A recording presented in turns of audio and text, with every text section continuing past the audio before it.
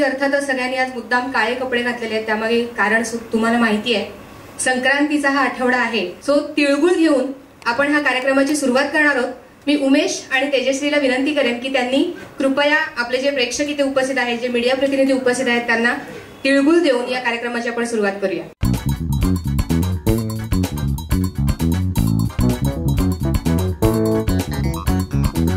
So सर्वप्रथम मी बोलावतीये सिनेमाचे दिग्दर्शक सुश्रुत सरांना. तुमची ही तिसरी फिल्म आहे मी जसं मगाशी म्हटलं की मु- मुंबई टाईम पेईंग गोस्ट आणि त्यानंतरची तिसरी फिल्म आणि तिसऱ्या सिनेमात पुन्हा एकदा उमेश तुमच्यासोबत काम करतोय हिरो म्हणून. सो पहिलं तर तुमच्या दोघांचं बॉन्डिंग जे आहे की तिसऱ्याही सिनेमात पुन्हा उमेशच हिरो आहे. सो ते का हे मला आधी विचारायचंय. आहे सगळ्यात आधी सगळ्यांना नवीन वर्षाच्या खूप शुभेच्छा. मकर संक्रांतीच्या खूप शुभेच्छा. आणि उमेशच का याचं अगदी खरं प्रामाणिक उत्तर म्हणजे जेव्हा मी गोष्ट मी आणि शर्माने लिहिली ती लिहायला घेतली. तेव्हा ती लिहित असतानाच हा रोल कोण करू शकेल तर तो फक्त उमेश कामत करू शकेल. हे आम्ही दोघेही जण कन्व्हिन्स्ड होतो. आणि असं माझ्या मते मला प्रत्येकच सिनेमाच्या बाबतीत वाटत आलेलं आहे की हा रोल मग तो पेंगोस्टमधला माधव माटेगावकरचा असेल मुंबईमधल्या अमर सुर्वेचा असेल किंवा हा असेल. सो उमेश सारख्या नटाला वेगवेगळ्या जॉनरमध्ये प्रेझेंट करायला मला स्वतःला खूप आवडतं.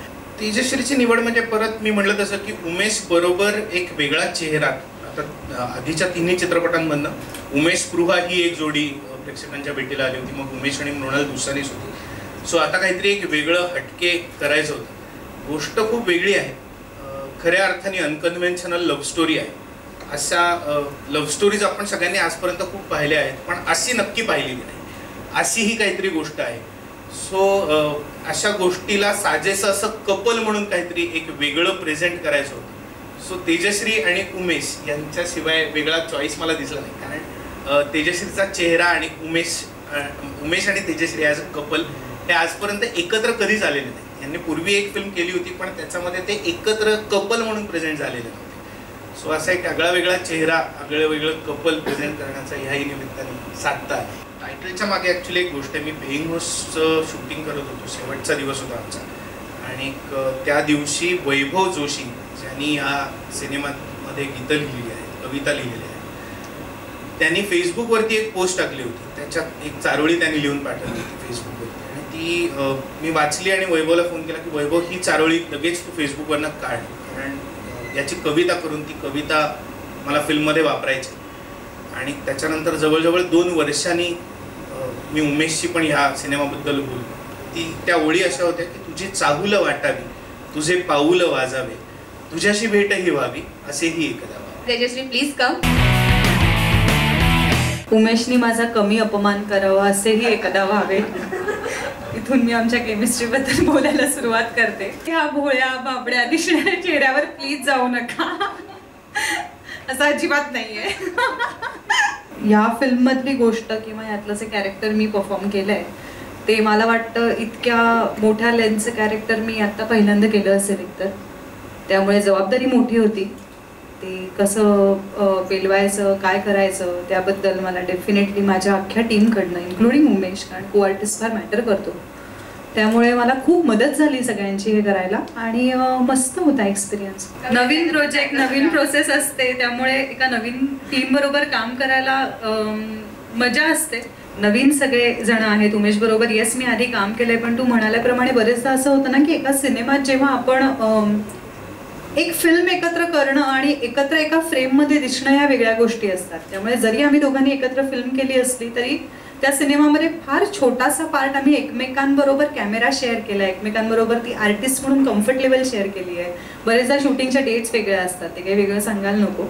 त्यामुळे तसं उमेश बरोबर अगदी पहिलं काम म्हटलं तरी चालेल. बट खूप मजा आली मला काम करायला. मी जेव्हा जेव्हा बाहेर देशात फिरायला जातो तेव्हा मला तिकडचे कपडे घालावेसे वाटतात तिकडचं खाणं खावंसं वाटतं त्यांच्यासारखं वागावंसं वाटतं.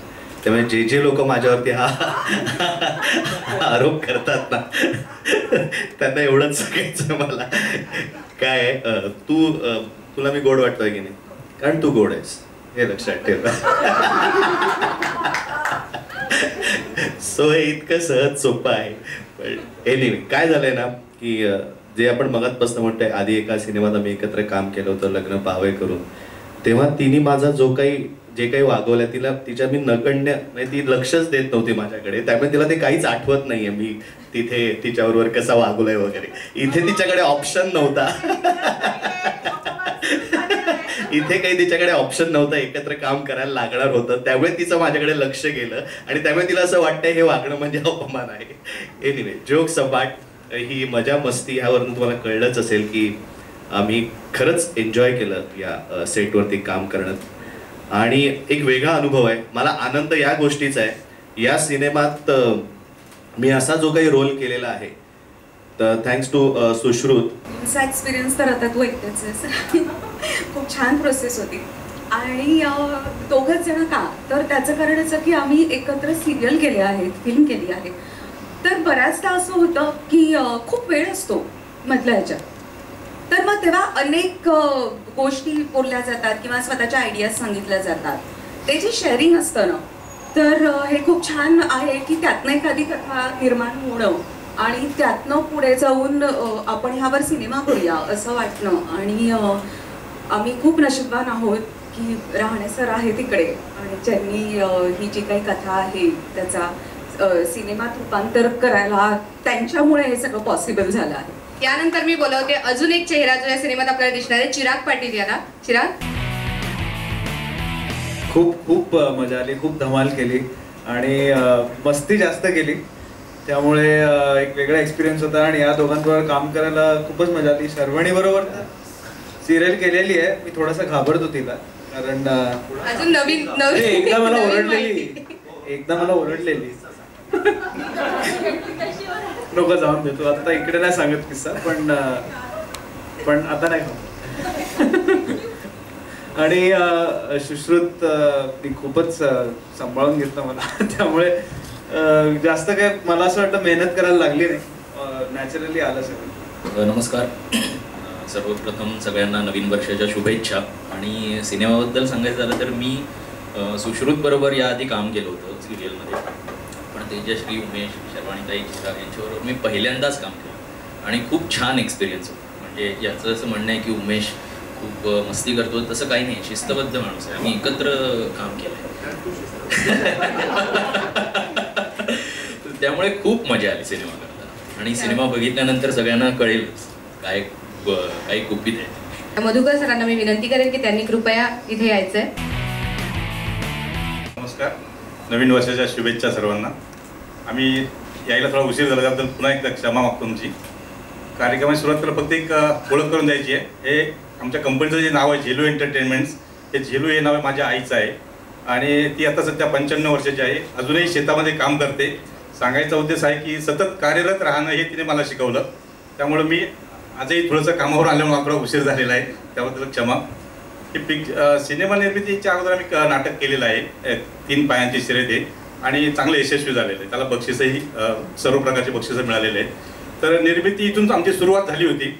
मध्यंतरीच्या काळात जेव्हा अ, तेजश्री न- मॅडमना जेव्हा कळलं की आम्हाला सिनेमाची पण निर्मिती करण्यात आम्ही जरा उत्सुक आहोत मग त्यांनी शर्वानी मॅडमांनी त्यांनी आमच्याकडे प्रपोजल आणलं या स्टोरीचं अशा प्रकारे सुश्रुत सरांनी त्याच्यावरती नंतर जे आमचं डिस्कशन झालं विषय आवडला आणि हा प्रोजेक्ट प्रोजेक्ट करायचं ठरलं. त्यानंतर मग कलाकारची जी निवड होती ती आम्ही सर्वशी त्यांच्यावरच ठरवली होती. तर प्रथम नाव आलं होतं उमेशचं. परंतु आता इथे खरं सांगतो म्हणजे मला खोटा बोलायला आवडत नाही. आम्ही उमेश थोडं साईडला ठेवला होता. कारण सुश्रू सरांवर आम्ही बोललो होतो की तुमचे ऑलरेडी दोन पिक्चर झालेले आहेत त्यांच्यावर. आपण दुसऱ्या अजून ऑप्शन बघूया आता असे. परंतु एक म्हणतात ना की दाणे दाणे पिल्ली काय खाणेवाले का नाम? ते फिरून सर्व शेवटी तिथे झालेलं आहे. आणि त्याचा अभिनय बघितल्यानंतर खरोखर आमच्या डोळ्यात पाणी आलेलं आहे. तर ही खरोखर एक चांगल्या प्रकारची लव्ह स्टोरी आहे. आगळी वेगळी अशी आहे.